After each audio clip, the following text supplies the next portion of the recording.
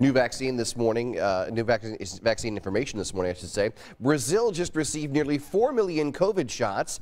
The country got the AstraZeneca vaccine. This is the first of more than, uh, more than 10 million doses Brazil is waiting to get before this summer. Well, nearly 100 people got their shot at IndyGo over the weekend. This happened at the bus headquarters just off of 33rd Street. That clinic was held in partnership with IndyGo and the historically black fraternity Omega Psi Phi. This was in an area that's normally tough to reach without a car, but the Marion County Health Department says transportation is always available to all of its vaccine sites.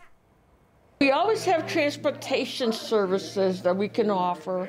IU Health provides transportation for anyone uh, who's getting vaccinated. IndyGo provides special shuttle services in the surrounding area.